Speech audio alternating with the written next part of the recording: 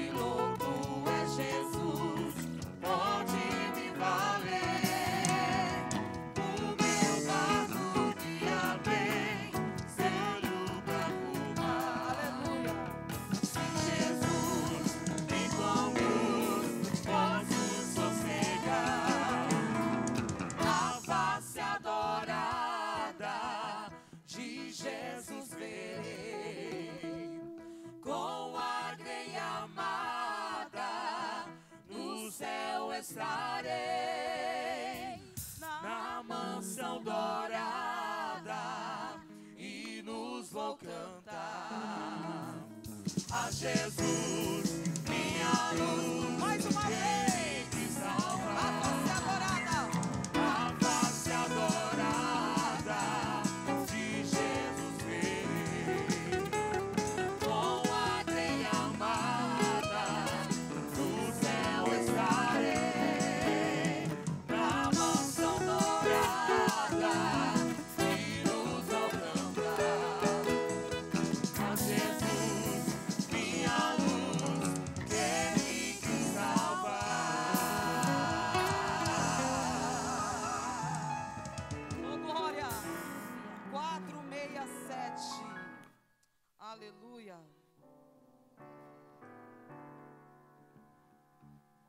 Aleluia.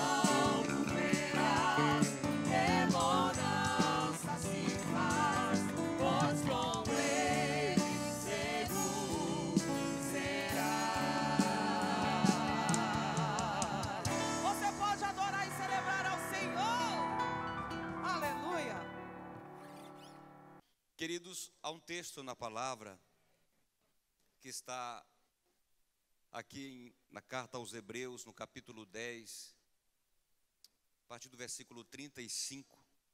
Hebreus 10, 35, nos diz um, um texto interessante.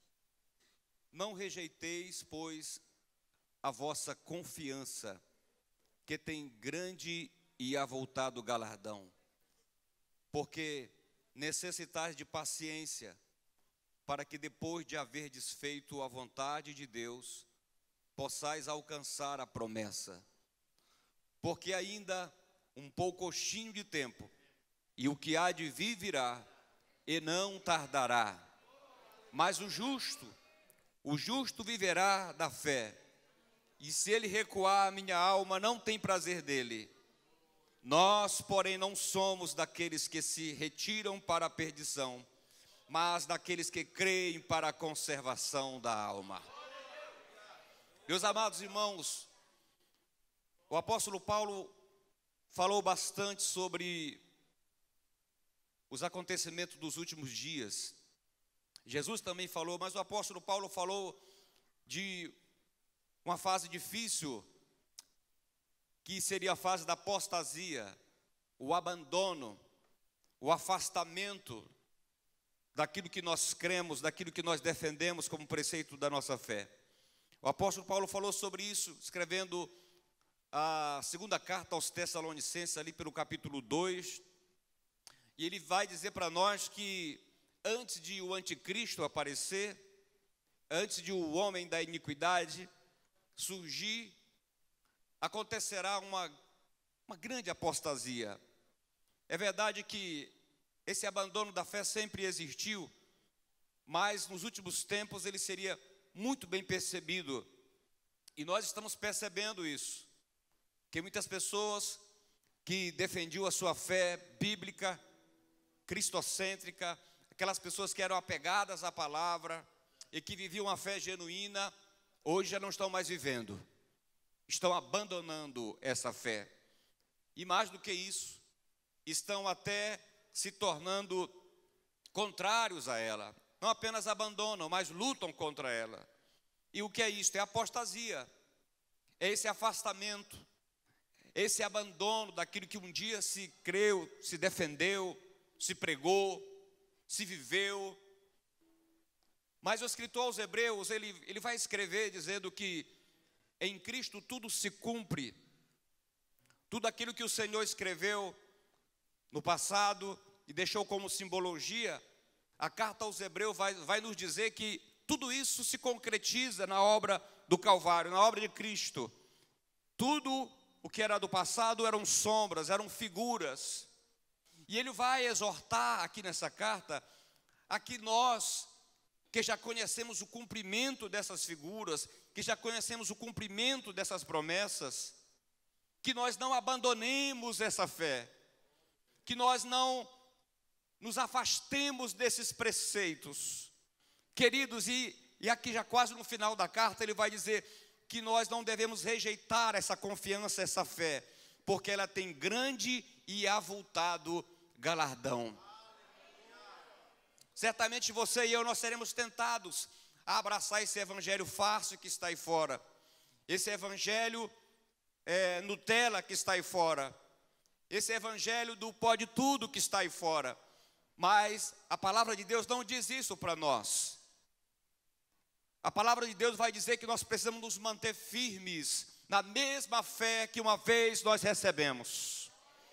Aleluia. E ele vai dizer: você não rejeite essa fé, você não rejeite essa confiança, porque ela tem um grande e avultado galardão. E ele vai dizer: você precisa ter paciência, porque ainda um pouquinho de tempo, um pouquinho de tempo, aquele que há de vir virá, e ele não tardará. Aleluia. Enquanto o Senhor não vem, nós vamos vivendo pela fé e da fé. É a fé que nos faz estar aqui, é a fé que nos faz trabalhar, é a fé que nos faz vencer, orar pela família, lutar pela nossa casa e vencer todos os desafios da nossa vida. O justo, ele viverá da sua fé. E ele não pode rejeitar. A Bíblia diz: se ele rejeitar, se ele recuar, o Senhor não tem prazer na alma dele. A gente pode chegar no final, queridos, talvez até mesmo baqueados, quem sabe com, muitos, com muitas marcas, mas nós vamos chegar até o final. Nós, nós não somos daqueles que recuam, aleluia, que se retiram para a perdição, mas daqueles que creem para a conservação da alma. Sempre que eu leio esses textos bíblicos, e aqui eu encerro, eu lembro sempre, pastor Paminondas, daquela, daquela, daquela corredora de uma grande maratona, muitos anos atrás. Aquela, eu era muito jovem ainda e aquela imagem me gravou muito. É que ela, ela chegou cambaleando ali no final, mas ela não desistiu. Vocês lembram dessa imagem? Muitos lembram aqui dessa imagem. Ela poderia ter parado, não, vou, vou parar por aqui, não dou conta. Um, alguém poderia trazê-la num, numa, numa cadeira de roda, num carrinho, mas ela foi até o final, sabe? E eu não me recordo quem foi que ganhou aquela maratona.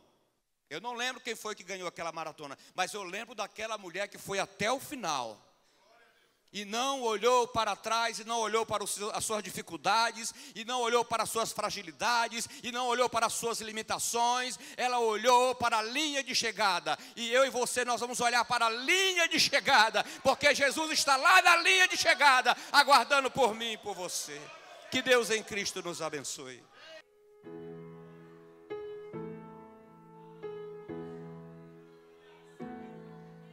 Além do rio azul. As ruas são de ouro e de cristal. Ali tudo é vida, ali tudo é paz, morte e choro. Nunca mais tristeza e dor. Nunca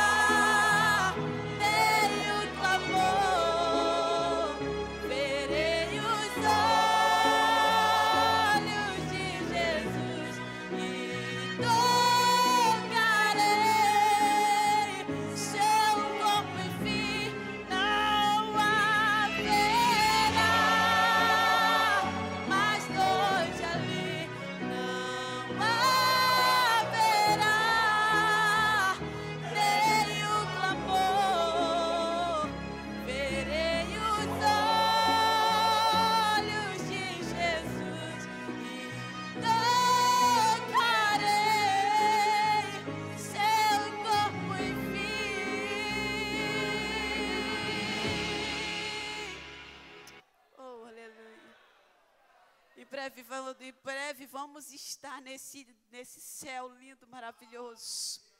Em breve nós vamos estar além do rio azul, aleluia. Aleluia. Quantos aqui é sobrevivente?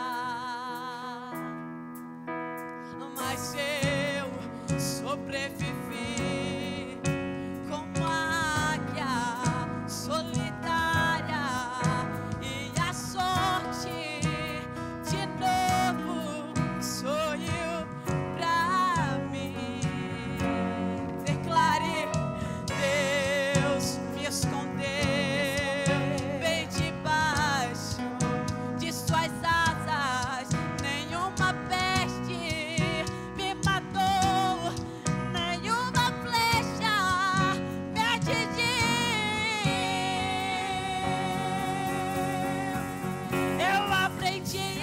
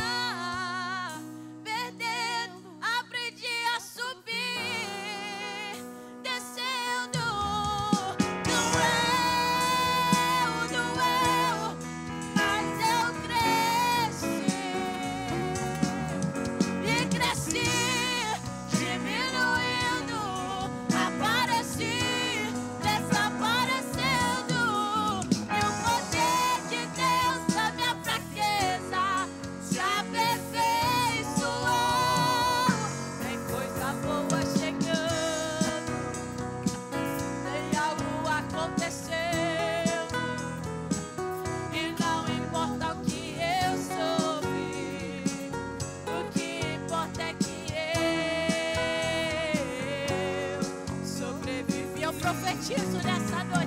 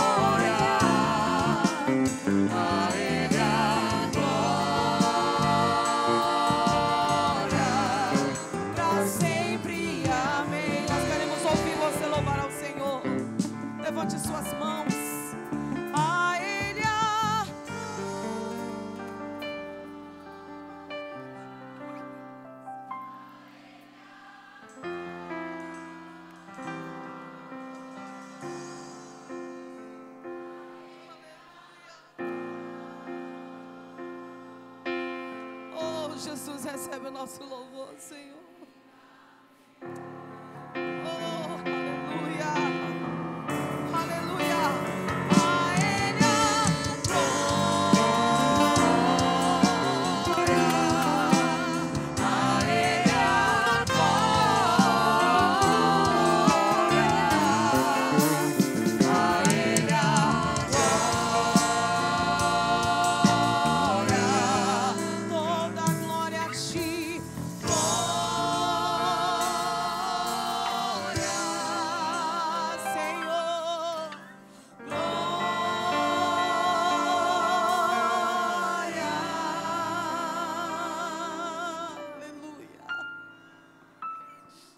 pode dizer algo para o Senhor, queridos. Agradeça a Ele.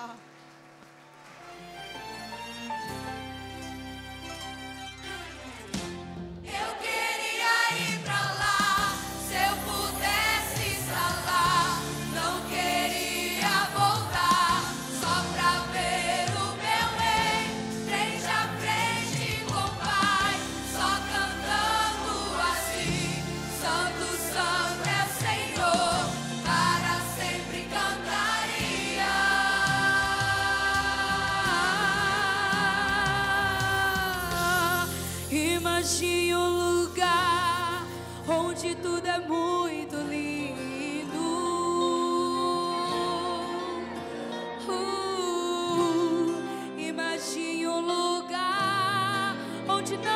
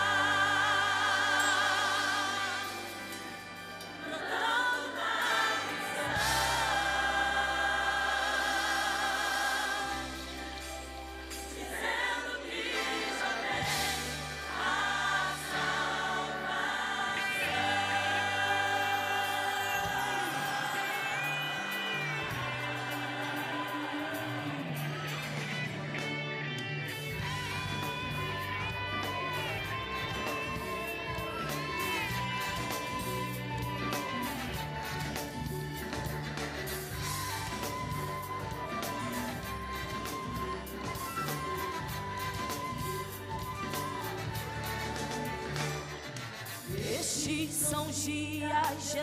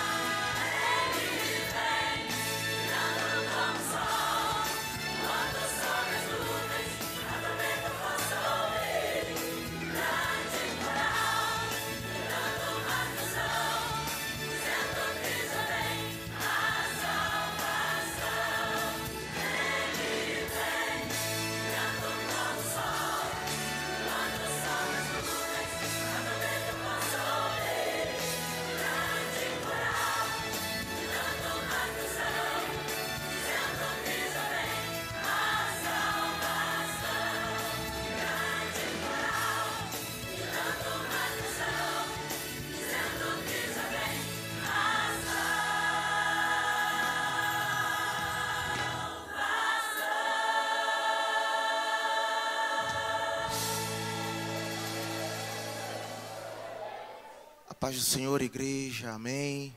Por bondade, se coloque sobre os pés, somente mais uma vez. Você que trouxe a sua Bíblia, livro de Números, capítulo de número 19. Livro de Números, capítulo 23, versículos de número 19. Vamos para a palavra, amém, igreja? Nesta noite eu quero falar sobre promessa. Nesta noite eu quero falar para a igreja sobre promessa. E eu gosto de falar sobre promessa, pois é isto que nos reúne nesta noite. E se você está com seus ouvidos atentos, se você está apercebido daquilo que está sendo dito no culto, a mensagem do culto já foi declarada de antemão. As irmãs cantaram, os irmãos cantaram. Ele vem brilhando como o sol, voando sobre as nuvens. Houve um outro hino também aqui que foi entoado dizendo: Eu queria estar lá. Se eu pudesse estar lá, eu não queria voltar. Por último, foi dito aqui que além do rio azul, ali já não haverá mais noite. O último versículo incluído no esboço foi Hebreus 10, 37, Pastor Marcos. Porque somente mais um pouquinho de tempo, e aquele que vem virá, e não tardará. A promessa que reúne a igreja aqui nesta noite é: Jesus está voltando, e ele voltará para buscar uma igreja que o aguarda. Atos capítulo de número 1, versículo 9 a 11, Jesus ainda falava quando ele foi elevado aos céus e oculto dos olhos daqueles que estavam olhando para os céus, e eis que ao seu lado surgiram dois homens de branco que bradaram: Por que estás olhando para cima? Porque da mesma forma como os vistes subir, certamente ele voltará o apóstolo Paulo faz questão de escrever um longo texto em 1 Coríntios, capítulo de número 15. Eis aqui, igreja, vos conto um mistério. Na verdade, nem todos nós dormiremos, mas todos seremos arrebatados no momento, no abrir e fechar de olhos, no ressoar da última trombeta. Porque a trombeta soará, e aqueles que estão mortos ressuscitarão primeiro, e nós, os vivos, seremos arrebatados, porque convém que isto que é corruptível se revista da incorruptibilidade, e isto que é mortal se revista da imortalidade, e quando isto que é corruptível, isto que é mortal for revestido, cumprir-se-á a palavra que está escrita: tragada foi a morte na vitória, a vitória da igreja já está garantida. Aleluia. A promessa, ela segue alguns princípios. Seria audácia minha dizer que vou resumir tudo a quanto promessa a respeito da Bíblia. Mas nesta noite eu quero falar com a igreja a respeito de três pontos. Toda promessa, ela inclui, primeiro, um preço. A mãe de todas as promessas, Gênesis, capítulo de número 3, versículo de número 15. Ei que, que suscitarei de ti, mulher, uma semente. Este pisará, pisará a cabeça da serpente. Todavia esta lhe ferirá o calcanhar. Ali já estava anunciado, igreja, um dos princípios da promessa.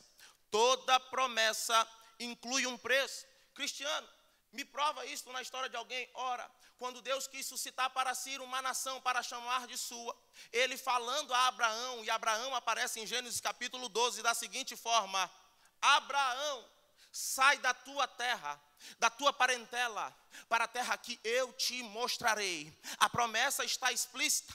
Deus quer mostrar algo novo para Abraão, assim como ele quer mostrar algo novo para a sua igreja, mas de antemão, Deus fala: sai da tua terra, da tua parentela, para a terra que eu te mostrarei. O preço é necessário, mas pode ter certeza, aquele que está prometendo é fiel para cumprir. Você pode dar o passo de fé, você pode até requerer do Senhor: Senhor, eu vou sair, mas primeiro me mostra a terra. E o Senhor fala para a igreja nesta noite: primeiro sai, depois eu te mostro.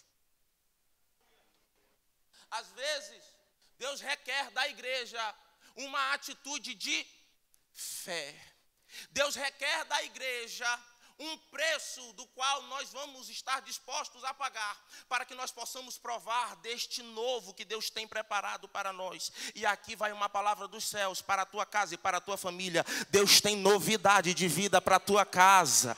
Deus tem novidade de vida para ti. Deus tem novidade de vida no meio dos teus. Agora o que Deus está falando para a igreja é: paga o preço Sai da tua terra, sai do meio da tua parentela, sai daí porque eu já mandei você sair. Pode dizer não, porque nem tudo vem de mim, porque eu sou quem guia os teus passos. Se eu disser que é para tirar, pode tirar. Por quê? Porque eu tenho novidade de vida para te dar. Quantos estão entendendo o que está sendo pregado aqui nesta noite? O preço, às vezes, inclui prejuízo. Eu costumo dizer que a primeira coisa que se ganha quando se aceita Cristo é um prejuízo. Você perde a sua vida para que você possa ganhar a vida de Cristo em ti.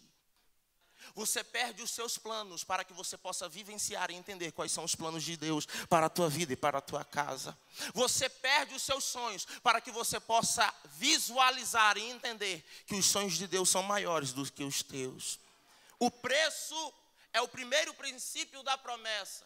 O preço, ele se faz necessário. O preço pode causar prejuízo a priori, de primeira, mas ao final, quando nós atravessarmos o Mar Vermelho, nós poderemos declarar: Deus nos deu o hino da vitória. As feridas nas mãos de Jesus, preço necessário dentro da promessa. As marcas que surgem no decorrer do tempo, para aqueles que trilham o caminho da promessa são necessários. E a grande estratégia, porque ele é astuto, do inimigo é querer nos envergonhar diante de tais feridas. Mas Paulo, escrevendo aos Gálatas, no capítulo 6, versículo 17, ele diz: Eu trago no meu corpo as feridas de Cristo. Logo mais à frente, na carta aos Coríntios, ele vai dizer: Eu não me envergonho do Evangelho, porque ele é poder de Deus e salvação para todo aquele que nele crê. O inimigo pode tentar confundir a nossa mente. Ele pode tentar confundir o nosso entendimento e nos fazer achar que nós estamos sendo envergonhados, quando na verdade as feridas evidenciam a promessa sobre a nossa vida. Tem gente que olha para a igreja, olha para o irmão e olha para a irmã e fala: Vem cá, tu não é filho de Deus, por que tu estás passando por isso? Tu não és filho de Deus porque esta assolação chegou na tua casa. Tu não és filho de Deus porque a enfermidade chegou na tua família. Aí é a hora que a gente pode declarar: é porque a gente tem promessa. Porque no mundo tereis aflições, mas tem de bom ânimo. Aquele que prometeu já venceu o mundo. A promessa requer preço, mas aquele que promete é fiel para cumprir, e é nisso que a igreja se alegra. É por isso que, mesmo diante da enfermidade, a irmã tem forças para levantar as mãos e dar glória a Deus. É por isso que o mundo olha para mim para você e fala: Eu quero é ver ele glorificar. E o primeiro glória é o meu e o seu. Por quê? Porque a gente já entendeu que o princípio da promessa é preço e aquele que prometeu é fiel. Amém, igreja? Ficou claro? Preço. Segundo ponto, fé. Quando nós ouvimos a promessa vinda do Senhor, esta promessa gera no nosso coração uma fé, porque em Romanos está escrito que a fé vem pelo ouvir, e o ouvir a palavra de Deus. Quando nós entendemos que tal palavra partiu do coração do Senhor e que esta promessa partiu dos céus, agora o nosso coração se regozija em fé. Por mais que a gente não contemple, a gente sabe que certamente Ele trará à existência aquilo que ainda não existe. Por quê? Porque aquele que prometeu, eu repito, é fiel. Portanto, você pode confiar, porque a promessa permanece de fé. A promessa sobre a tua vida permanece de pé. Você pode glorificar o nome do Senhor Jesus. Ao ouvirmos a promessa, a fé é gerada e esta fé gera em nós vida e vontade de viver. 2 Coríntios capítulo 5, versículo 7 diz que nós não vivemos por vista, mas nós vivemos por fé.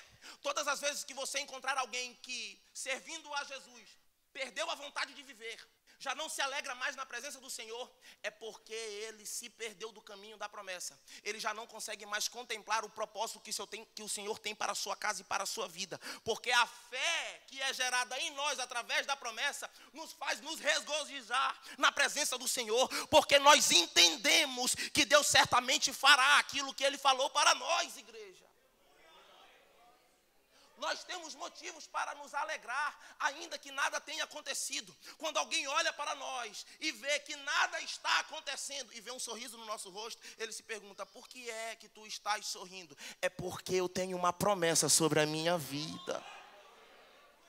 Eu não consigo enxergar motivo de alegria na tua vida. É porque tu não tens a promessa que eu tenho. A promessa que eu tenho traz alegria sobre o meu coração.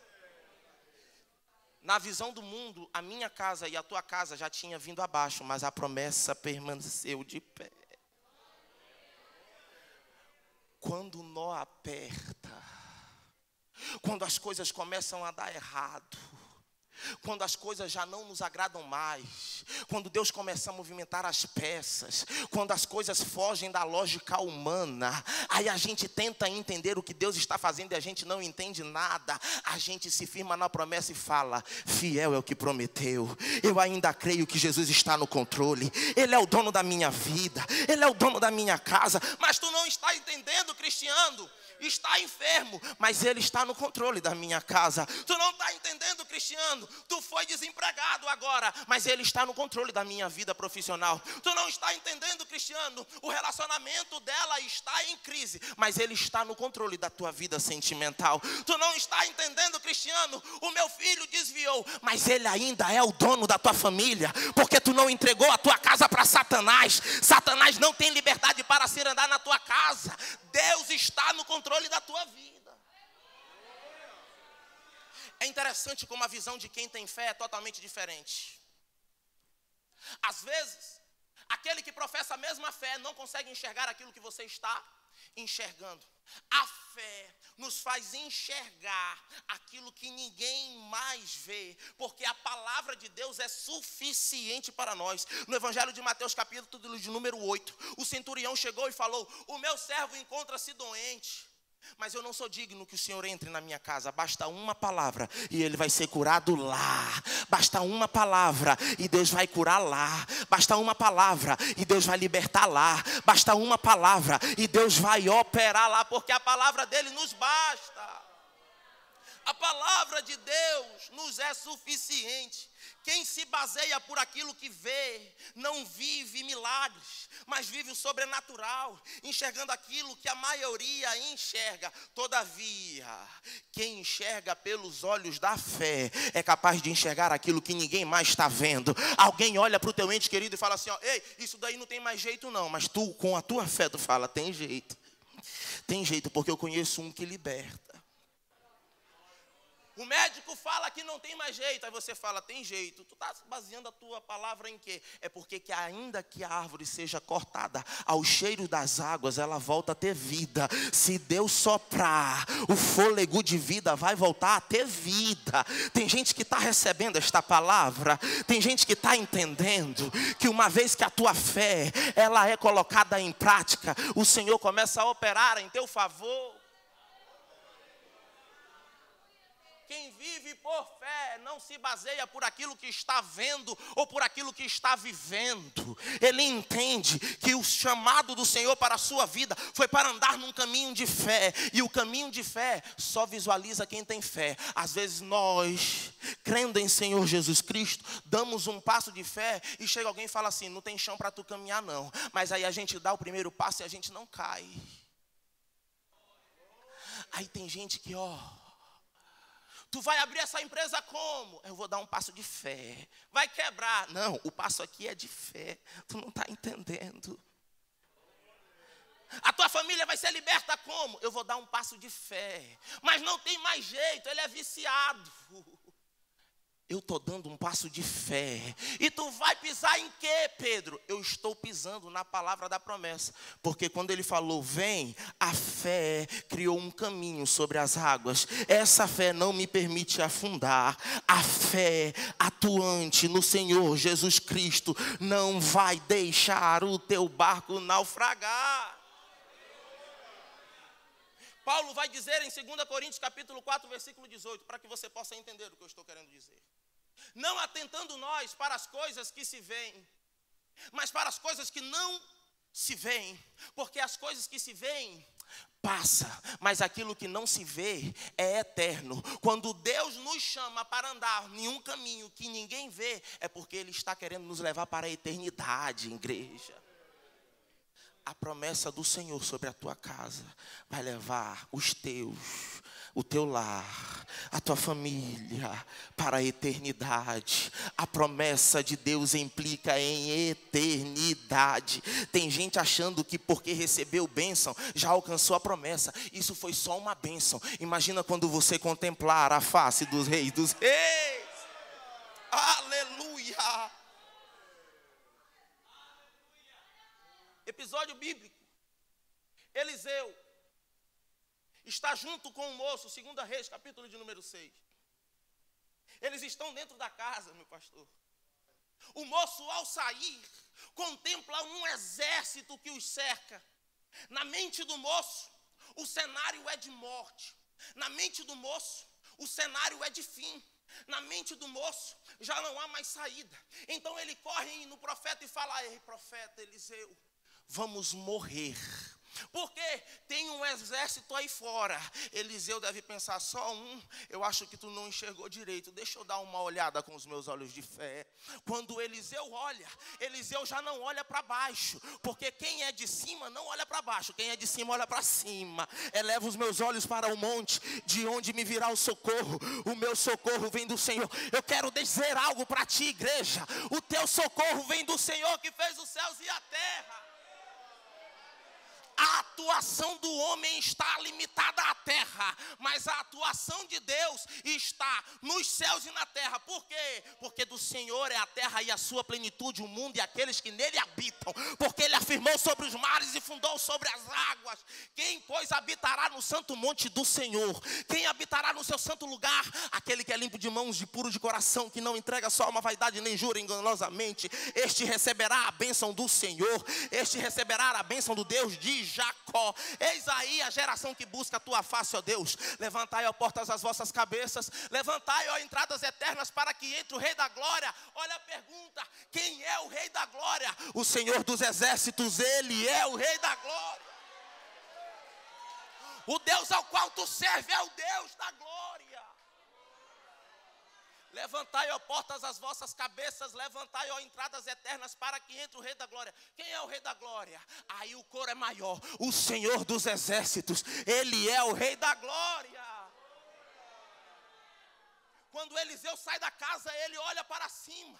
E o que ele vê é o exército de cima. Porque o exército de baixo não traz contemplação para ele. Não lhe traz susto. Não lhe traz medo. Por quê? Porque ele sabe que o exército que lhe guarda é o exército de cima. Pode se levantar um exército aqui embaixo. Mas o exército de cima está guardando a tua casa. O exército de cima está. Eu quero falar algo para a igreja. Eliseu não precisou convocar o exército de cima.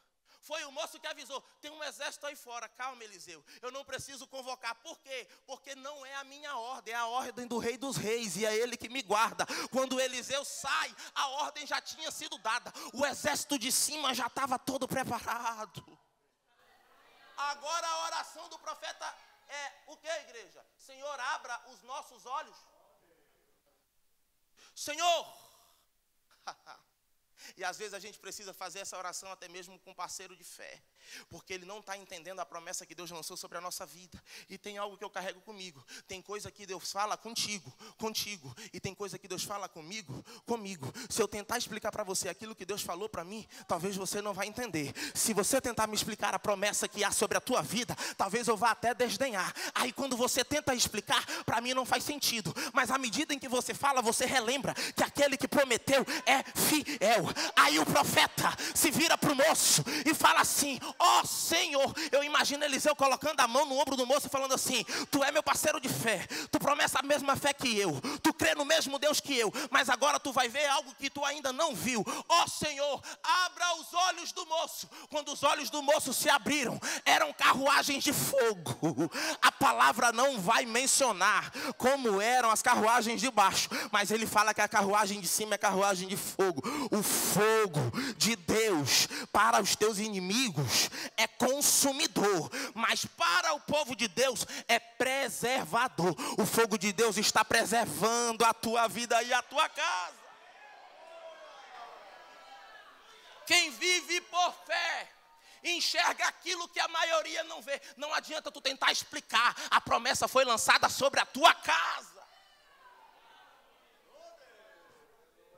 A moléstia chega na tua casa. O vizinho se pergunta: quero ver com que cara ele vai sair. Ela nem acordou, o hino já está tocando e tu está falando: Fiel é Deus, fiel é Deus, fiel é Deus, fiel é Deus, fiel é Deus, fiel é Deus. Eu quero saber que fidelidade é essa que essa irmã tanto fala. Tu está falando de que fidelidade? Da promessa. Mas isso daí que tu está passando é preço. E por que tu não abandona a promessa? É porque eu tenho fé. E quando eu tenho fé, Deus cria um caminho que nem sequer existe. Eu não entendo no que é que tu estás vivendo. Eu não entendo no que é que tu estás andando. É, tu não és capaz de ver, porque o homem natural só discerne as coisas naturais, mas quem é espiritual consegue contemplar coisas maiores. Aleluia. Primeiro ponto da promessa: preço. E quando eu falei o preço, estava um pouco embaixo, porque quando a gente fala do preço, você pode querer comprar o tanto que for. Quando o vendedor fala o preço, você Mas quando fala de fé, ah, se não fosse a fé, não houve quem segurasse na tua mão, não houve quem falasse o teu nome, não houve quem te estendesse a mão, não houve quem te segurasse. E o que foi que te segurou? A fé, a fé, a fé, a fé. De fé em fé a gente vai vencendo. É como diz o hino, rompendo em fé. Já dei a deixa, já, Ivânia. Rompendo em fé. À medida em que o crente vai andando em fé, ele vai rompendo. O aquele que é mundano, aquele que é ímpio, não entende. Mas o crente está rompendo em fé. Ele está andando num caminho que ninguém enxerga. Pedro não olhou para baixo, ele olhou para Jesus. Porque o que lhe garante não são as águas de baixo, são a palavra de Jesus que foram ditas para ele. Confia na palavra do Mestre, porque certamente aí eu vou ser redundante. Aquele que prometeu é fiel. Você pode glorificar o nome do Senhor Jesus? Creia que o céu guerreia em teu favor.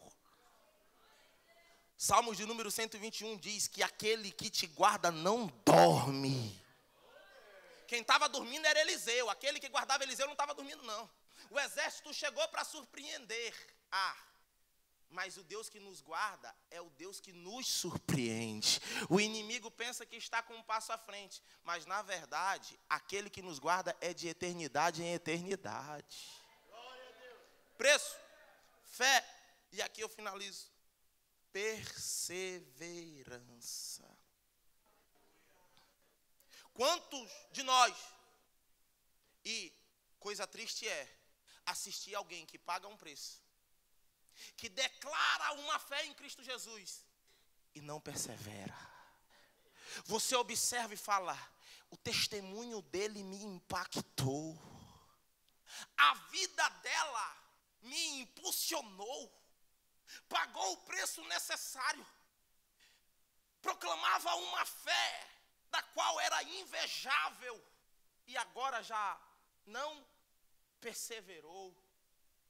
Lucas capítulo 8, a parábola do semeador, no versículo 15, o Senhor vai falar que as sementes que caíram em boa terra, elas retêm, dão fruto, elas retêm e dão fruto, mas também o versículo finaliza falando que é necessário ter perseverança. Não adianta dar fruto hoje e amanhã não está. Tem gente que iniciou 2022 pagando preço, no meio do ano proclamava fé e agora que está em novembro infelizmente, já não declara a mesma fé que nós.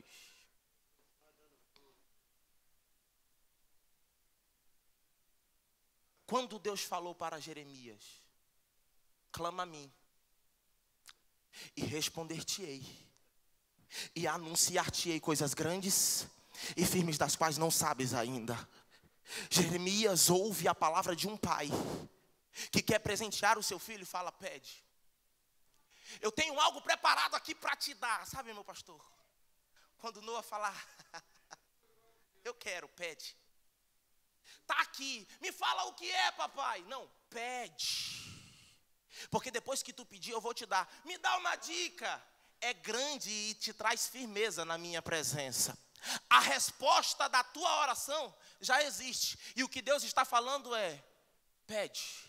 Clama a mim, porque eu tenho uma resposta pronta para te dar. Me dá uma dica aí, Senhor. É grande, compatível com aquele que está te dando. E mais, traz firmeza na minha presença. Tem gente querendo viver promessa, mas não está sabendo perseverar. E eu vim trazer uma palavra do céu para a tua vida, para a tua casa. Você pode levantar as tuas mãos. Aquilo que Deus tem para entregar para a tua vida, no teu lar, na tua casa, sobre os teus, é muito maior do que os homens almejam. Vai trazer uma firmeza na presença do Pai, porque aqueles que almejam aquilo que tu tem, eles não têm firmeza no altar, mas enquanto tu está pagando o preço e proclamando a fé que tu tem, tu estás sendo firmado na presença de Deus.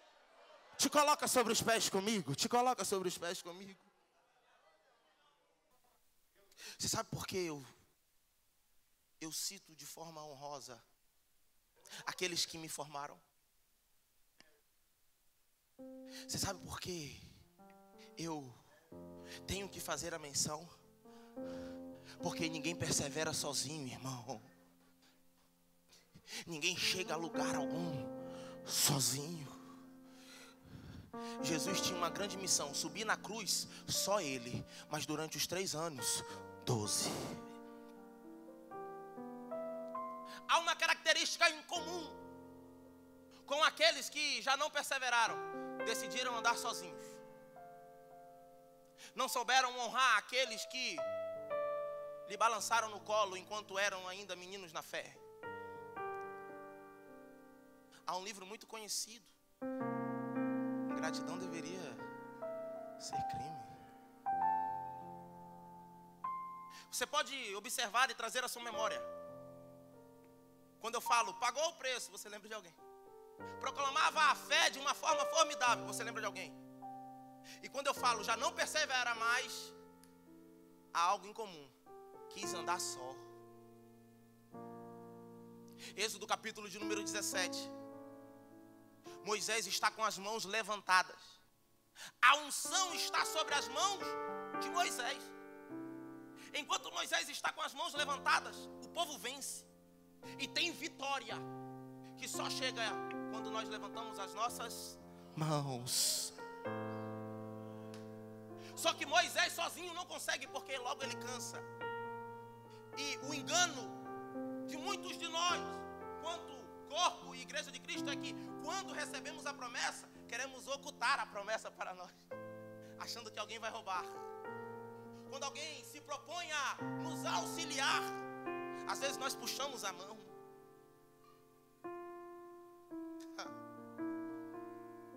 Moisés começa a baixar as mãos porque o cansaço começa a bater.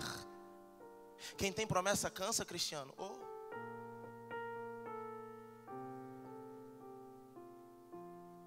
Só que Moisés não estava sozinho. Ele tinha quem segurasse as suas mãos.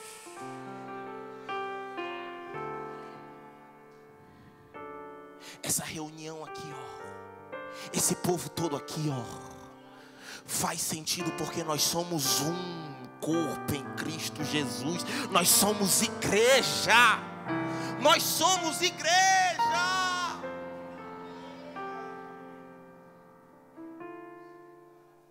Não tenho costume, mas vou fazer. Vou aproveitar a oportunidade, meu pastor. Segura na mão aí do teu irmão aí.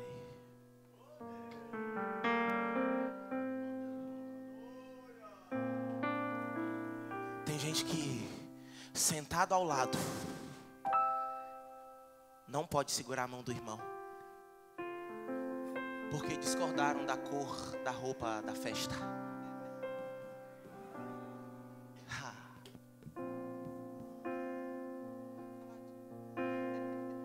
Diga assim para ele, ó, nós vamos até o fim, nós vamos até o fim. Nós vamos até o fim, né, meu pastor? Cristiano, e se eu começar a cambalear? Vai ter alguém segurando na tua mão. Ei.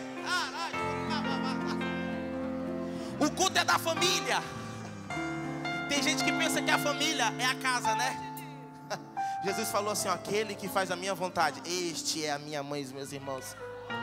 Quer olhar para a tua família? Quer olhar nos olhos da tua família? Dá uma olhada para o lado aí. Olha aí quem é está do teu lado aí, ó.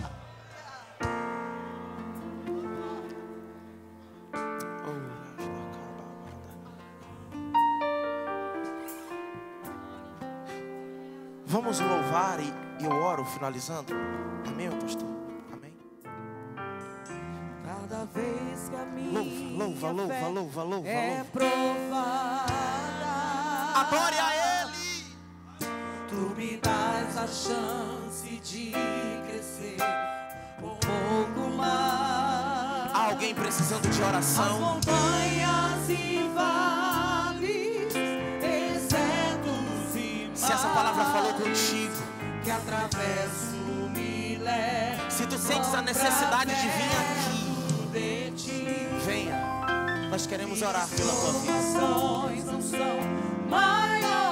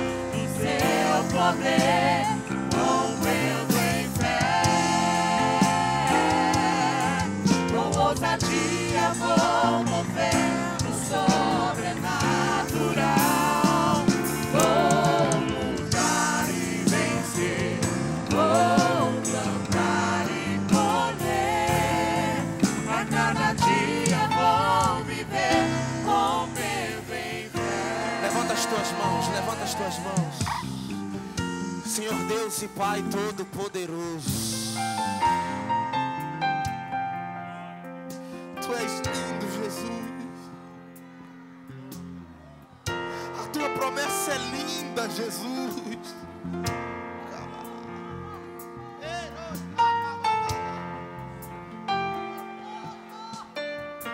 A nossa esperança está firmada na tua promessa,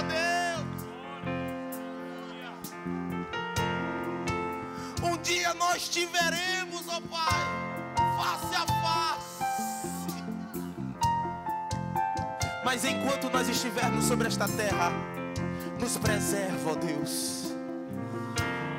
Eu te apresento, meu Pai, a vida dos nossos pastores. E nesse momento eu faço um pedido, igreja: estenda as mãos sobre os nossos pastores. A verdade, meu Pai, é que às vezes, na condição de Moisés,